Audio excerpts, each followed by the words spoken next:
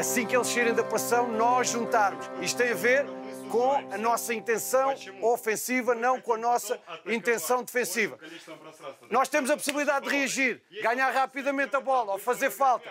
Reagimos, eles saem da pressão, juntamos. A equipa sempre curta.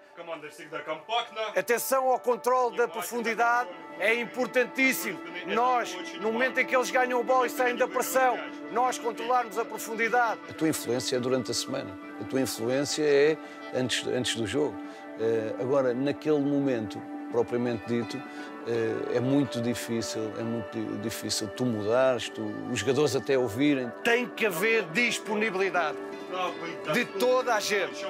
Tem que haver procura constante do espaço. Tem que haver procura constante para ser linha de passo, mal.